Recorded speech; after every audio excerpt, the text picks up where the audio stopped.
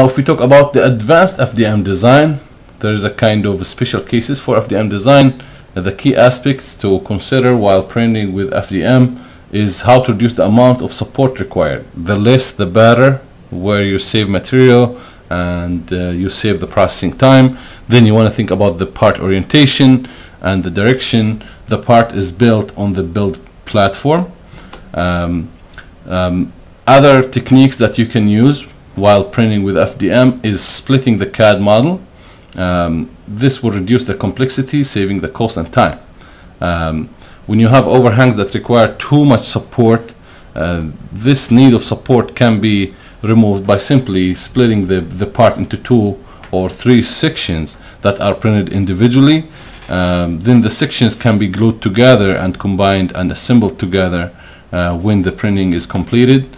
So we can see here if you want to print this sphere you need to have this kind of material support.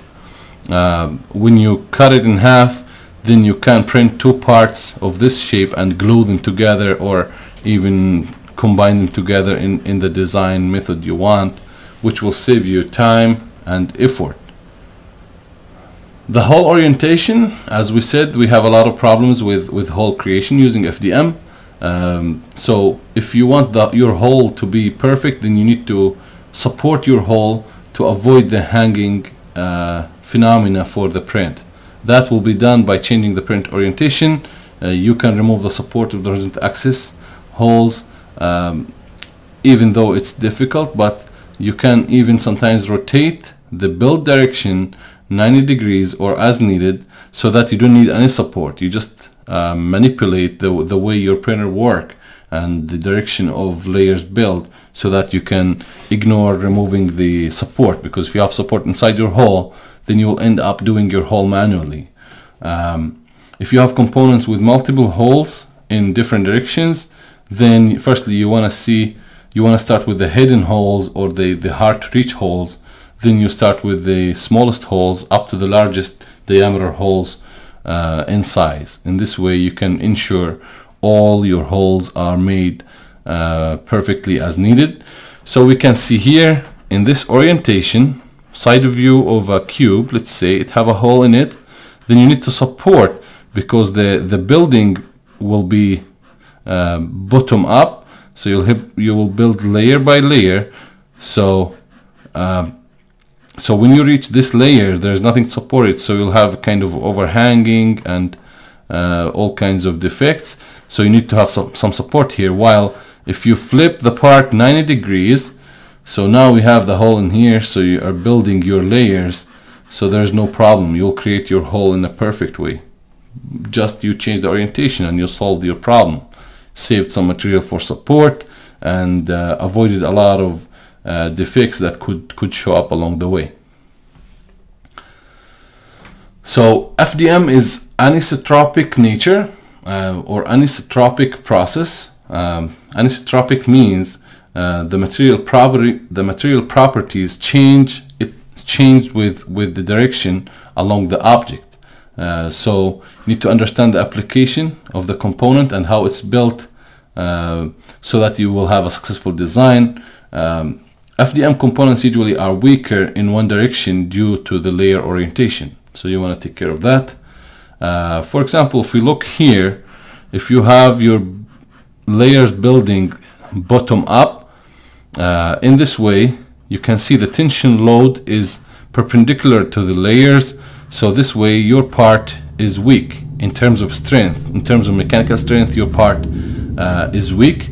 If you have your, your layers are built this way, tension load, in terms of tension load, if you have a tension load, um, perpendicular to the to the build direction of layers then your part will be strong.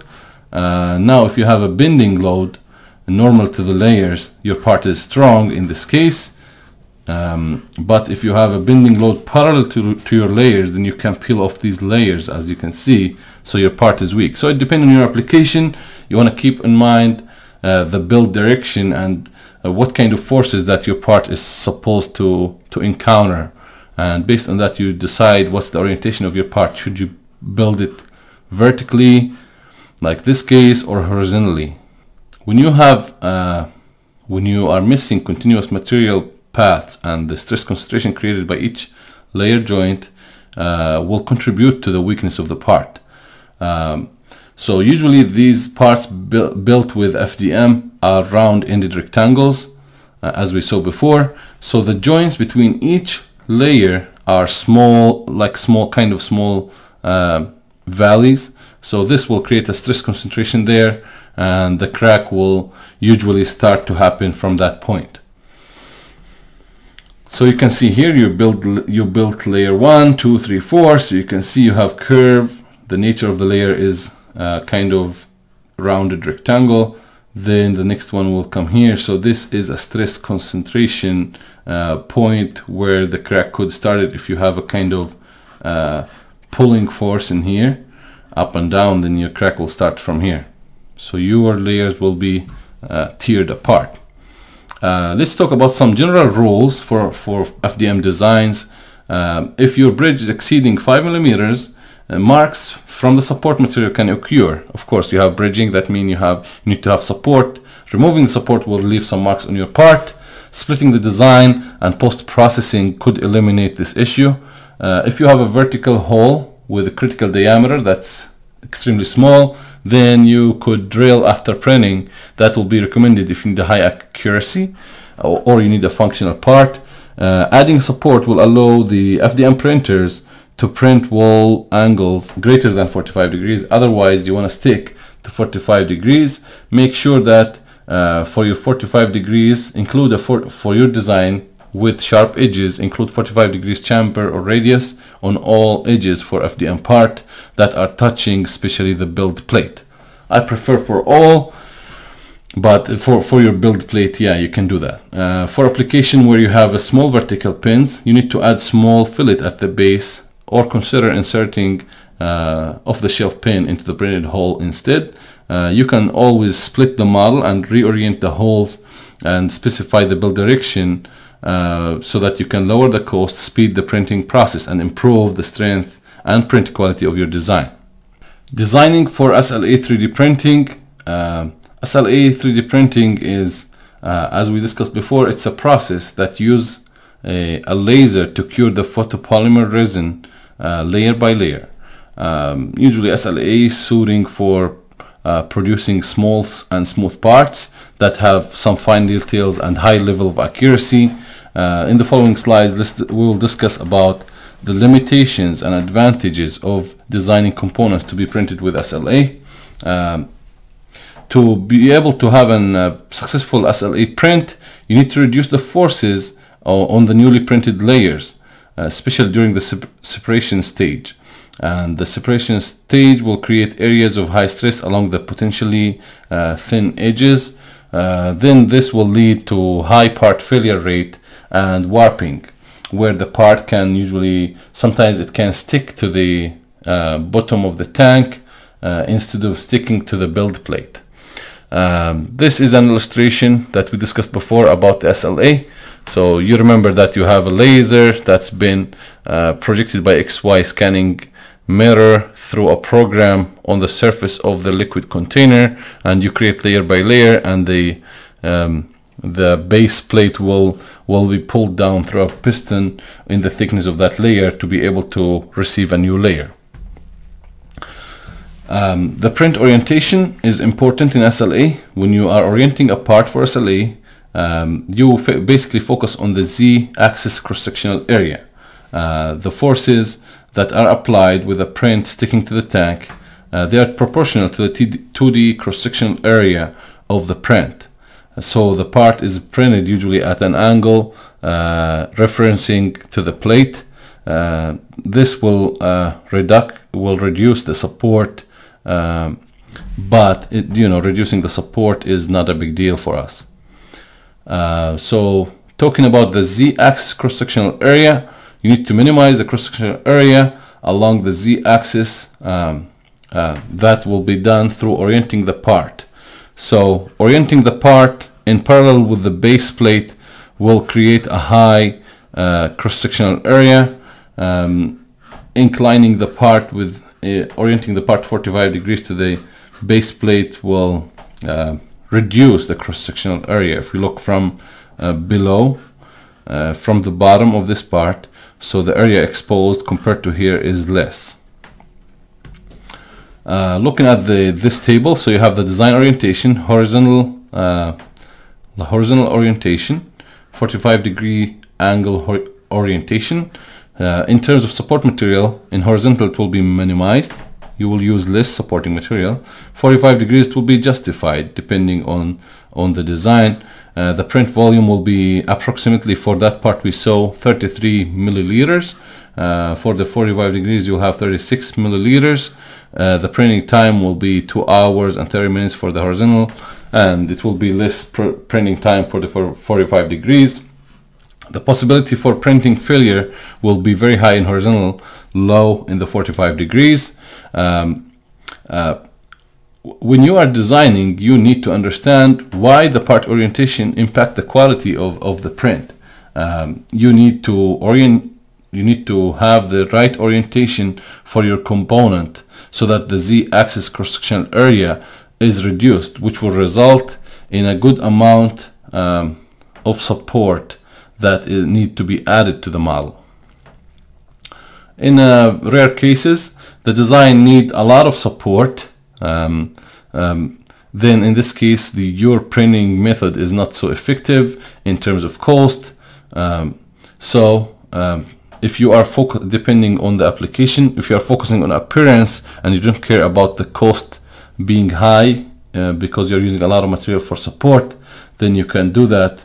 Um, but the the problem when you have a lot of um, a lot of supporting material then you will have some dents on your part, a lot of dents on your part uh, because of these support materials. So uh, the visual final result will not be satisfactory for you. Uh, the SLA printing is an isotropic uh, process, which means that the material is uniform in all directions.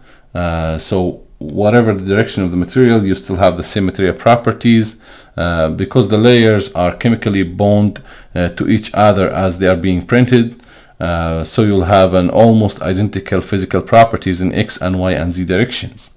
Uh, either you print the part in parallel or perpendicular to the build plate. The final material properties will not be um, uh, too much different in a noticeable way. For the printing features, if you have a supported walls in your designs, um, when you have a walls that are support connected to other structures um, for at least two sides, then you have a chance of warping. Uh, when you are designing walls with, with these design cases, then you need to have your uh, wall to be having a minimum thickness of uh, 0.4 millimeters or higher. So you have a wall here connected with at least to other object with two faces, then your thickness need to be 0.4 millimeters or higher. If you have uh, unsupported walls uh, connected to the rest of the print uh, on less than two sides, then there is a high chance of warping or detaching from the print. Uh, these walls you need to have them as 0.6 millimeters at least in thickness and they should be designed with fillet. So all sharp corners should be filleted so that you can so here this this kind of line should be filleted. This line inner and outer uh, corners should be filleted so that you can be your part will be well supported and your thickness should be at least 0.6 of a millimeter millimeters. Otherwise it will be failing uh, design. For overhangs uh, not a too much of an issue for the SLA printing since the part is made uh, inside the photopolymer liquid but um, if the model is printed without adequate internal and external support structures, uh, printing without support uh, will lead to warping of the print. Uh, but if you print without supports, um, uh, any unsupported overhangs can be kept less than one millimeter in, in length and at least 19 degrees from level. Um, in this way, um, one millimeters in length 19 degrees from level. This way you will avoid any kind of overhanging problems. If you have embossed details details or protruded parts of your design um, any any any part of or feature that's raised uh, above the surface around it then these must be at least 0.1 millimeter in height. So when you have a protruded part or feature in your design need to be at least 0.1 millimeter in in height um, so that you can sure that this detail will be able to be printed and visible. Uh, when you have engraved details like you're engraving inside your part um, um, if you have a resist uh, feature or imprinted feature to the model uh, these details could be in risk of fusing with the rest of the model uh, during the printing especially if they are too small. So these details should be at least 0.4 millimeters wide and at least 0.4 millimeters thick. So it should be 0.4 millimeters wide and 0.4 millimeters thick or high uh, so that you'll avoid this uh, property to be immersed with with the other uh, parts during the the layers printing. When you have horizontal bridging as we can see in here uh, bridges between two points can be easily printed but the designer should keep in mind that wider bridges should should be kept shorter as much as needed um, especially in numbers should be less than 21 millimeters uh, than the thin bridges uh, wider bridges have greater z-axis area of contact, which increase the chance of print failure during peeling. Uh, if you are doing holes, holes with diameters less than 0.5 millimeter XYZ axis could be closed during the printing because you know the layers will be a little bit moving and relaxing uh, until they solidify. This will close the extremely small holes. Uh, for connections, you need to have 0.5 millimeter clearance between moving parts 0.2 millimeter clearance for assembly connections if you have an assembly design uh, 0.1 millimeter clearance uh, for uh, push or a snug fit regarding the resolution uh, you can achieve a higher resolution in SLA than FDM uh, due to the fact that it's using laser to solidify the material uh, the resolution in XY direction for SLA depending on the laser spot size. Um, and it can range, range the spot size for the laser from 30 to 140 microns as we will see. Uh, this can, can't be adjusted uh, regarding the printing because the laser is this is how it is manufactured by by the by the selling company. Um, minimum feature size cannot be smaller than the laser spot size so it's it's kind of constrained by the laser spot size so you have here the laser spot size you have here the XY resolution how your laser is moving so uh, of course any kind of deviation with the laser movement will be added to the laser spot size diameter in here. So it can't be smaller than the laser diameter. Resolution in Z direction can vary between 25 to 200 microns. Uh, uh, to have a vertical resolution you will need to take care of the speed and quality. It's a kind of fine-tuning between speed and quality. Uh, for parts that have curves and, and fine details um, uh, you can uh, hard to find a difference between printing at 25 microns or 100 microns uh, desktop FDM machine usually print a z-axis layer at 150 up to 400 microns. When you have a hollowing and cupping, why we do hollowing and cupping in SLA? Um, to when you want to print a solid part, uh, then you have a dense model. Um, if the print is not supposed to be functional part, um, it's very um, important to have a hollow um, which basically a hole. Hollowing means having a hole in the design or in the model. This will reduce the amount of material needed uh, and the print time. Uh, it's recommended that uh, the walls of the hollowed print to be at least 200, uh, 2 millimeters of uh, thickness to reduce the risk of failure during printing that uh, during printing and to keep that hole in place. We can see here you are designing a sphere, you have supporting material in here, and then while doing that you make a hole in here so that any kind of excessive material from these layers uh, can be drained down while in liquid stage can be drained down out of this hole and will not be a defect um, inside that hole. Uh, when you are printing a hollow part um, always you need to have these kind of drainage holes uh, to prevent uncured resin from getting trapped inside the final print if that if you care about it anyway. Um, because this resin will create a pressure uh, that is imbalancing the the hollow chamber and it will cause a kind of uh, phenomena known as cupping. Uh, small failures cracks and holes could propagate throughout the part and cause complete failure or even the part could explode um, if not corrected. Uh, draining the holes the holes that are used to to for draining or for hollowing should be 3.5 millimeters in diameter at least. At least uh, one hole must be included per hollow section